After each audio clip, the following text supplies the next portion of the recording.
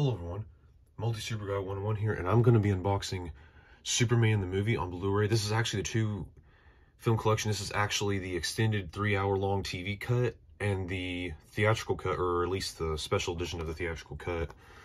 So uh, there's quite a few versions of this film, if a lot of people already don't know about that, but um, I'm sure a lot of people already do. So this off right here. And this is an older release. I think this came out three years ago, 2018, if I'm correct. But I really like the cover art's really nice on both of them. Um, so you got both of those versions. Um,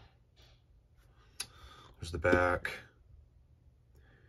And the extended cut is not rated, and the special edition or theatrical special edition, I guess, whatever you call the special edition of theatrical cut is rated PG. And they're both fairly lengthy. I mean, the extended cut is 188 minutes, three hours, eight minutes, I believe.